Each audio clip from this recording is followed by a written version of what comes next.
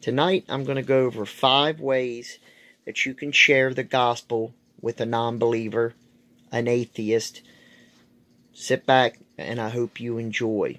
I can guarantee that I won't, and for several reasons. First, and possibly most important, learn how to frame a shot, dude. First, don't put your face in the middle of the frame, leaving tons of negative space above it. You want the top of your head to hit the top of the frame. Second, and even more important, vertical video? That's a paddlin'. You takes your phone, you turns it like this. Now, on to the reasons why this is a terrible way to witness to an atheist. Let's do this.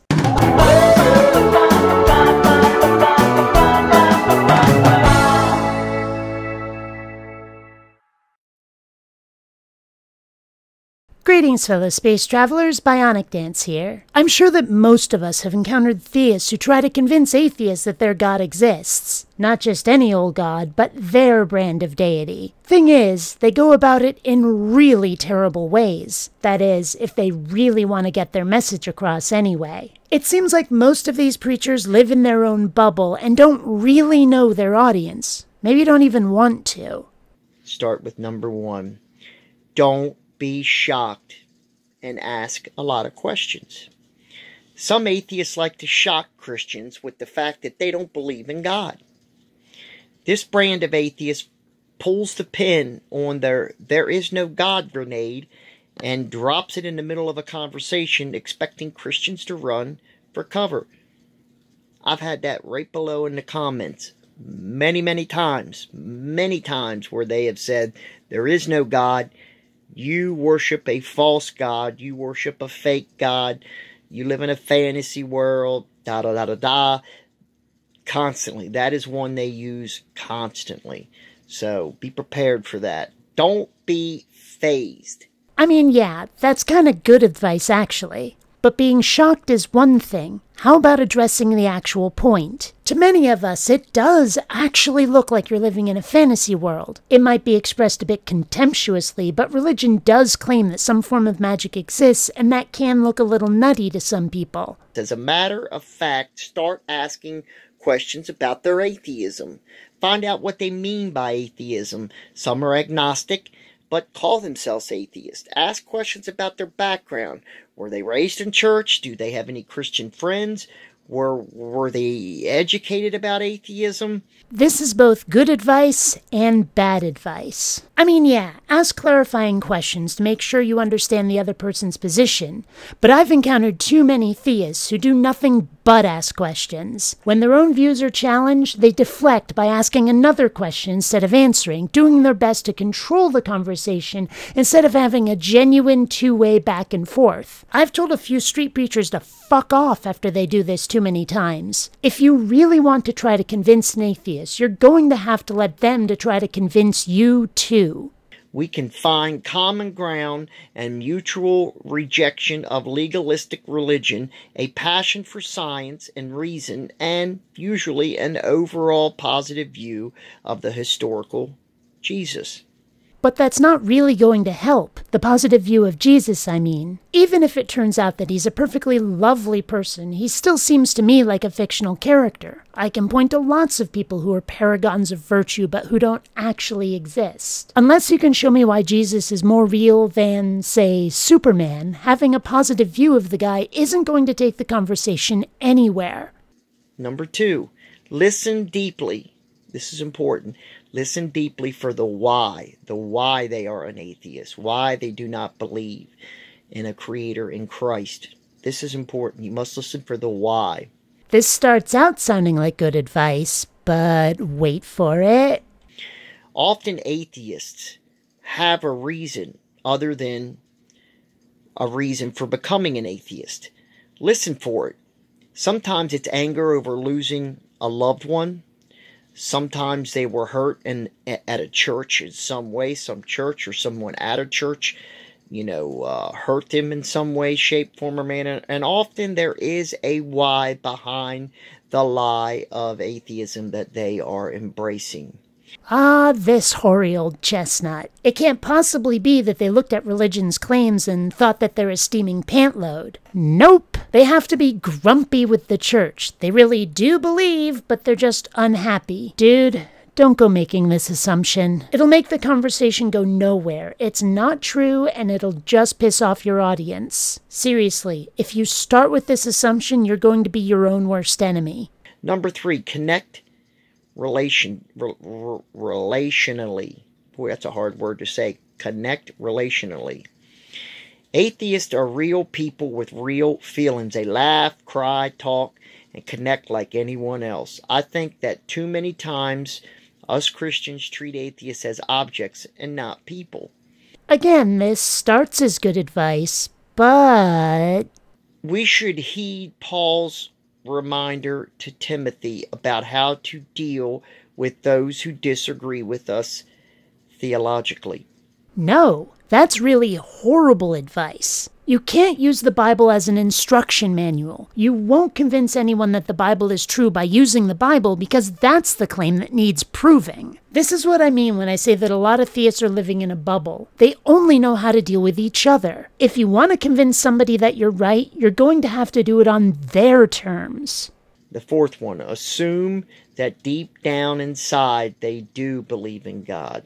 No, no, no, no, no. Short of saying to beat them with clubs and light them on fire, this is quite possibly the worst advice you could give. I don't think I've ever met anyone who generally rejects the existence of God. Sure, I've met some who claim God doesn't exist uh, or his existence is a lie but uh, I, I believe deep down that most do believe that there is a God or some spirit being up in the sky or whatever they want to use or the terminology.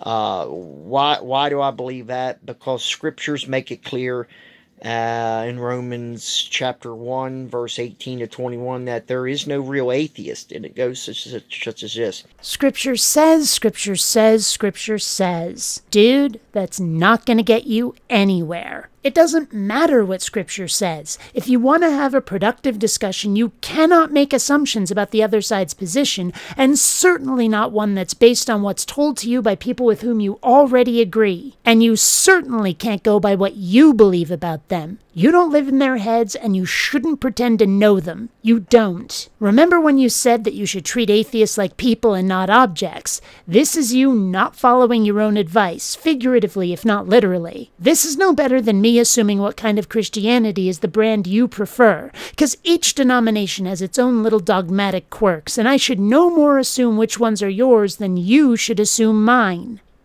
They may try to suppress their belief in God, but sooner or later, in the discussion, an atheist says something like, Well, if God is so good, then why does he allow this?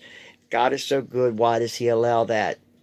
This is the point in the conversation where they have forgotten their atheism and they've realized for some of their challenges with that not the reality of God, but the nature of God. You couldn't possibly be more wrong. What's happening here is that atheists are showing you problems with your claims. You say that God's nature is a certain way, and what you've said is being challenged by having inconsistencies pointed out to you. Let's again use Superman as an example. If someone said that Supes is 100% invulnerable and I point out that kryptonite makes him lose his powers, I don't have to believe Superman's real in order to tell them that their point is wrong. So if you tell me that your God is all knowing, loving, and powerful, I have only to point out suffering in the world to show that your claims are without merit, and I don't have to believe in a God to do it. In fact, what I'm doing is telling you why I don't believe. You've said there's something that exists, and it's like this. I'm saying I don't see that thing. In fact, I'm seeing things that shouldn't be so if that thing exists. So I think your claims are not true and that the thing doesn't exist. Number five, the final one. Frame the gospel as a love story that just happens to be true.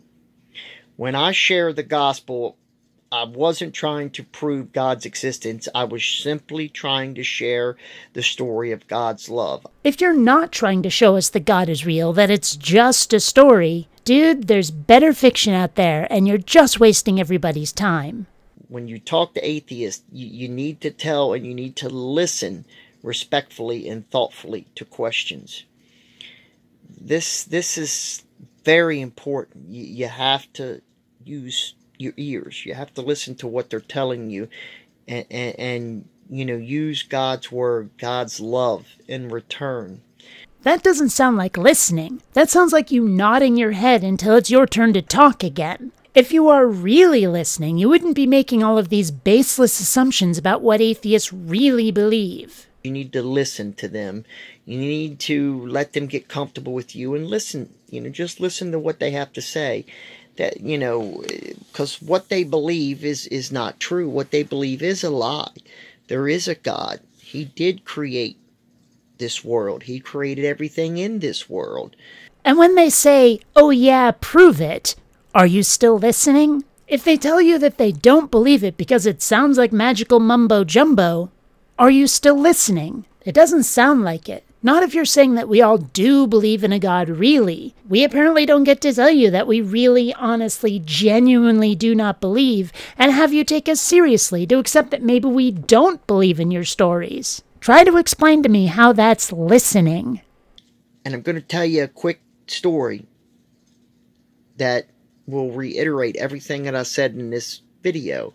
And that's pretty much all he does for the rest of the video. So, until next time, fellow space travelers, this is Bionic Dance saying don't run on automatic.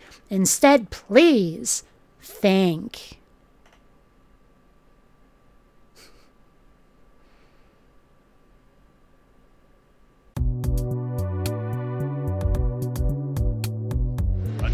Citizens. Failure to contribute will result in suspended oxygen privileges. Attention citizens. Failure to contribute will result in suspended oxygen privileges. Attention citizens. You've got two choices. You can rate this video and share it everywhere across social media, or I can send my minions after you. Choose wisely.